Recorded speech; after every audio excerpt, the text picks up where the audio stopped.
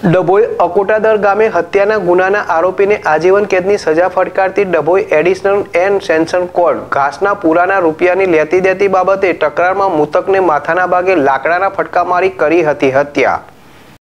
ડભોઈ તાલુકાના અકોટાદર ગામે વર્ષ બે હજાર એકવીસમાં મૃતક વિનોદભાઈ નરસિંહભાઈ તડવી નાઓ ઘાસના પૂરાનો વેપાર કરતા હતા તે સમયે ગામના જ ઉમેદભાઈ મથુરભાઈ તડવી નાઓ પાસેથી પૂરાના રૂપિયાની લેતી દેતી બાબતે તકરાર થઈ હોય.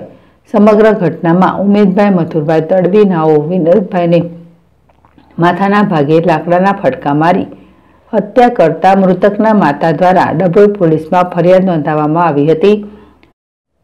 આ કેસ ડભોઈની એડિશનલ એન્ડ ડિસ્ટ્રિક્ટ કોર્ટમાં ચાલી જતા સરકારી વકીલ એચબી ચૌહાણની દલીલો અને પુરાવાઓને ધ્યાનમાં રાખી એડિશનલ એન્ડ સેશન્સ કોર્ટના જજ એચજી વાઘેલા દ્વારા આરોપી ઉમેદ મથુરભાઈ તડવી. આજીવન કેદ તેમજ પાંચ હજાર રૂપિયા દંડ ભરવા હુકમ કર્યો.